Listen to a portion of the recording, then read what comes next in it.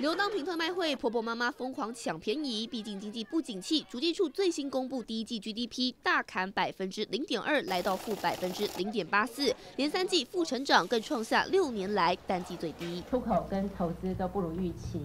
但是呢，民间消费成长的动力略优于预期。看一看国内智库对今年的 GDP 展望，中研院百分之一点七四最高，主计处二月预估全年有百分之一点四七，台经院最悲观，认为今年剩百分之一点二七，但第一季惨淡，全年保一再添变数。没有有多大的呃比较呃负面的这个因素出来的话，我想我们在第二季末的时候就可以看到一些经济数据的这个曙光。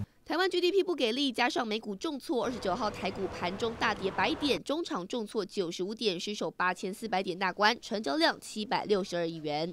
苹果供应链的压力会加深，外资如果卖超。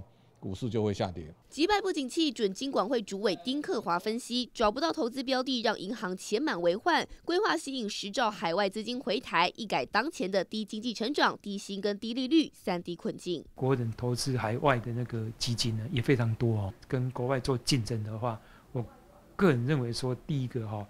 就要呃更自由化了。财经内阁有默契，准金长李世光更说，如何让经济好转是最大挑战。上任第一步，先推绿能驱动产业，尤其是电动车这一块哈，目前看得出来的话，是美国发展的一个方向。台湾 GDP 在亚洲四小龙吊车尾，经济盘旋谷底，如何突破？全民都把希望放在新政府身上。东森财经新闻陈敏峰这么想，台报道。